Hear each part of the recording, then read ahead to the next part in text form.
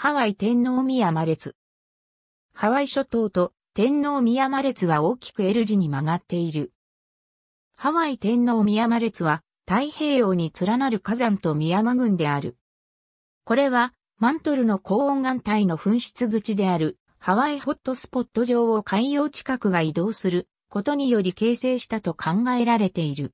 海洋近くがマグマの供給源から離れると噴火の頻度は減少し、力を失ってゆく。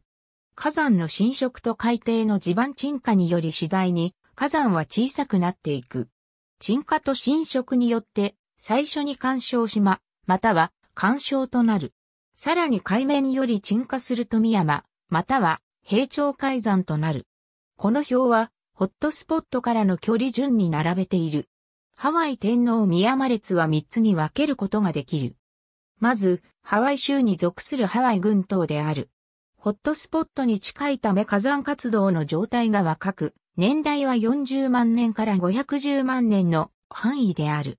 ハワイ島は、キラウエア火山とマウナロア山の2つの活火山を含む、計5つの火山を有する。ロイヒミヤマは、ハワイ島の沖で成長を続けている、ハワイ諸島では、唯一の、未だに海面下に存在する、成長中の火山である。二つ目は、リーワード諸島とも呼ばれる北西ハワイ諸島で構成され、その年代は720万から2770万年である。火山活動はずっと前に終了し、そのほとんどは干渉、または干渉島となったか消滅している。世界で最も北に位置する干渉群でありその北端はクレ干渉である。2006年6月15日にはジョージ・ W・ ブッシュアメリカ合衆国大統領は、遺跡保存法にのっとりパパハナウモクアケア、海洋国家遺産への指定を宣言した。この国定記念物価は、ハワイ諸島の生物多様性を保護するためのもので、北方の島をすべて含む世界最大級の保護区となっている。この宣言は区域内への観光を制限し、2011年までの段階的な漁業の禁止を求めている。最も古く、侵食を受けた天皇宮山列の部分の年代は3900万年から8500万年の範囲である。天皇宮山列とハワイ諸島の向きは約60度の角度で L 字型に曲がっている。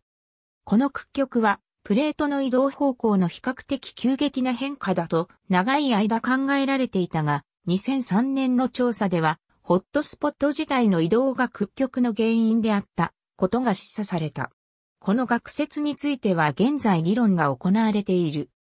この部分の火山は遥か以前からすべて海面下で、三山か平頂海山となっている。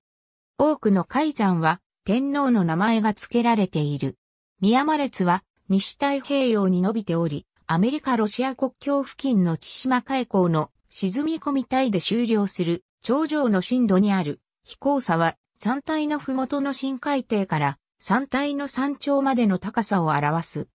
ありがとうございます。